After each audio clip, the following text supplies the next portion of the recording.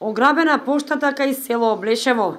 Непознати сторители вечерта во меѓу 9 и 10 февруари околу 3 часот по полнок ја свиткале решетката и го скршиле прозорецот на објектот, од каде и влегле и однеле се што можеле. Целата техничка и компјутерска опрема, неколку панелки за грејење, радиоприемник и преварувајки пари или други вредни предмети, направиле голем неред во целиот објект пошто заминале.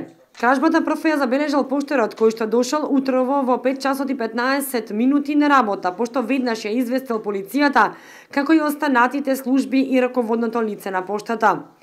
Полицијата направи увид на настанот, а порт паролот на СВР Штип Гордана Панајотова во телефонски разговор само кратко ја потврди кражбата и рече дека истрагата е во тек и по незино завршување ќе се знаат деталите околу кражбата, како и вредноста на направената штета.